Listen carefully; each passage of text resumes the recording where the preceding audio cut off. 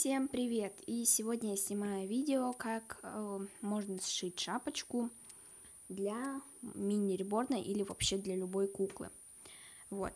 Для этого нам понадобится ткань, желательно, чтобы тянулась. Думаю, вот такого кусочка хватит, но у меня вот эти части не обработаны. Вы можете взять от какой-нибудь футболки, водолазки, не знаю чего, лишь бы ткань тянулась. Вот, так будет вам легче. Ну, если вы шьете на швейной машинке, то, конечно, уже лучше не такую брать ткань, а немножко другую, потому что машинка швейная, если честно, то не любит вот такие вот тянущиеся ткани. Вот, и у меня другая чуть-чуть ткань, то есть вот эта часть не обработанная. Но вы можете облегчить себе задачу и взять с обработанным. Так вы сошьете быстрее. Дальше нитки понадобятся, естественно, иголка. Вот у меня такая тоненькая. Очень удобная, я ее просто обожаю. Карандаш, чтобы нарисовать саму шапочку. И ножницы. Вот. Значит, вы берете ткань вашу. У меня своя, у вас своя. И рисуете просто вот такую штукенцию, так скажем, как дугу, только не совсем, э, до половины. Вот, то есть ткань у меня тут два кусочка ткани. Вот, загибайте это все дело.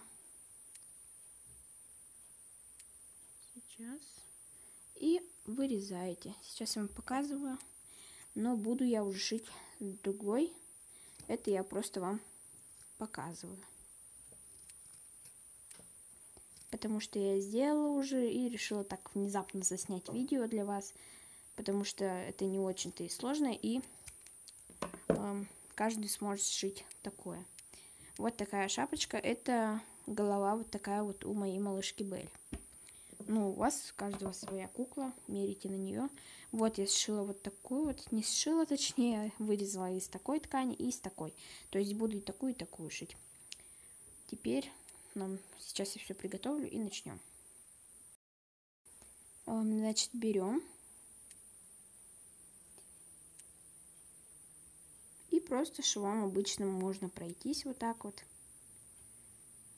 стежками небольшими, даже э, мелкими, так скажем. Вот. Ну, кто как шьет. Лично мне быстрее так вам показать, чем э, как-нибудь какими-нибудь друг, другими швами. Но вы можете по-всякому. То есть вот это все вот так вот прошиваем и смотрим на вашу готовую работу. Ну что ж, я дошила э, шапочки.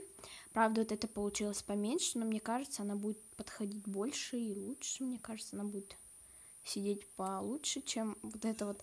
А это она как бы чуть побольше, но это я буду загибать. То есть подгибать буду эту шапочку. Вот. Вот с обработанным краем. А вот это вот я просто подгибала. То есть тут ничего не обработано. Ну, правда, что если вот тут посмотреть, то тут все сделано. Ну и кто хочет, можете тоже себе такие шапочки сделать своим куколкам. Можно такие только побольше сделать, это по вашему желанию, конечно же. Вот. Ну, меня многие просили мастер-класс, и вот наконец-то я вам хоть какой-то, но сделала. И кто хочет, могу еще сделать видео, как сшить э, царапки. Вот. Э, ну, это по желанию. И обзор на одежду. И все для Бель. Так, и на этом было все. Вступайте в мою группу. Ссылку на нее оставлю в описании. И всем пока. Мы всех очень любим.